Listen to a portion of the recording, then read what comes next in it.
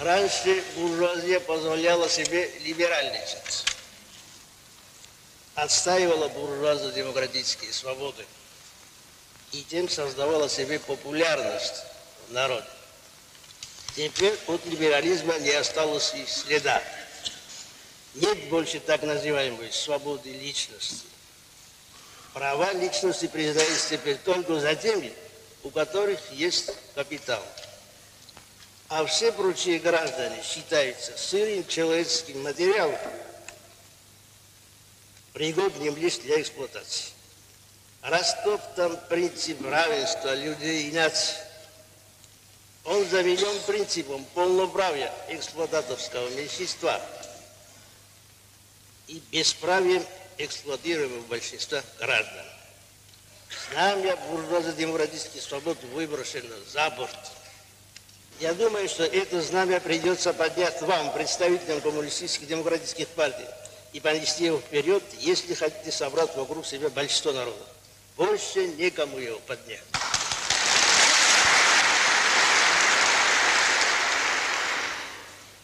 Раньше буржуазия считалась главой нации.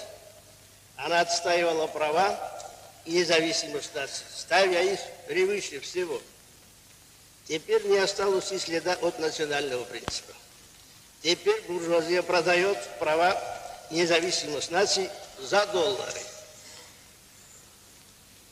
Знамя национальной независимости и национального суверенитета выброшено за борт.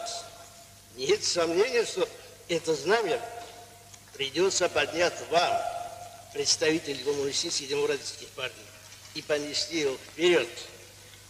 Если хотите быть патриотами своей страны, если хотите стать руководящей силой нации, его никому больше не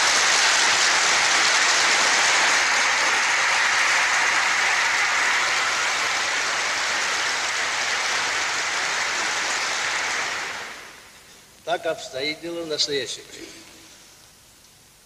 Понятно, что все эти обстоятельства должны облегчить работу коммунистических и демократических партий, не пришедших еще к власти.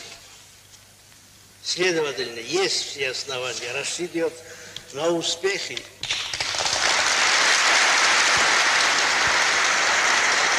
и победу братских партий в странах господства капитала.